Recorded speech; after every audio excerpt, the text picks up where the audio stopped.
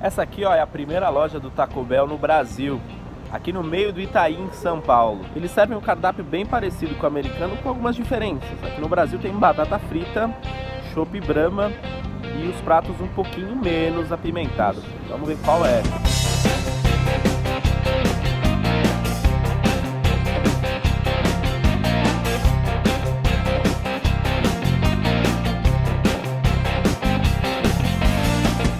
Esse aqui é o cardápio básico. Os combos vêm sempre acompanhados de refrigerante e nachos, que aí você pode até trocar por batata frita se você quiser. E aí a atração principal são os tacos ou os burritos, que podem ser de bife, que é carne moída, frango ou steak. Tem também esse combo 3 com quesadilha e esse combo da Super Bell Box, que é uma caixa grande que vem quesadilha, burrito e taco, sai aí por 36 reais.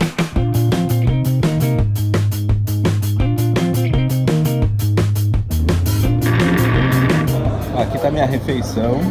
São dois tacos de carne e um nacho supreme. Eu também pedi um molhinho extra de guacamole, refrigerante que acompanha o combo. Tudo isso aqui saiu 30 reais.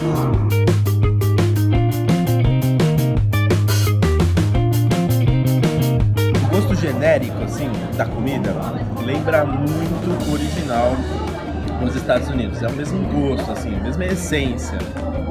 Bem legal. O guacamole é bom, é claro que você vai encontrar melhores aqui em alguns restaurantes mexicanos. Mas o que eles servem aqui é honesto.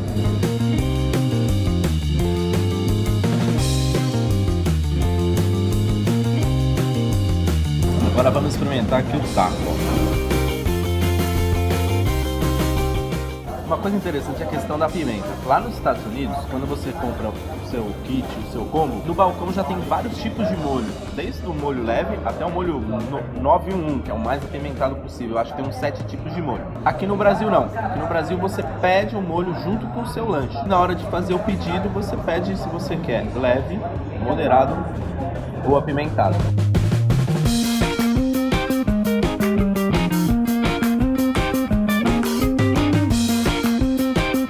Olha só, gastei 30 reais e saí bem satisfeito aqui do Taco Bell. Faixa de preço entre 22 reais e 36, tem aquela caixa que vem bastante coisa por 36 reais. A qualidade é bem parecida com a loja americana, lembra muito, o gosto é o mesmo. Tem algumas diferenças aqui, tem a batata frita, tem a questão da pimenta que não tem todas aquelas pimentas para você colocar no seu combo.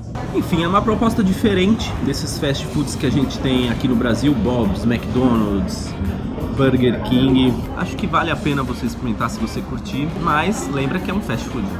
Se você gostou desse vídeo, não esquece de assinar o nosso canal. Toda semana tem vídeo novo. Clicando no sininho você recebe as notificações e vai acompanhar a gente nos restaurantes, em algumas receitas.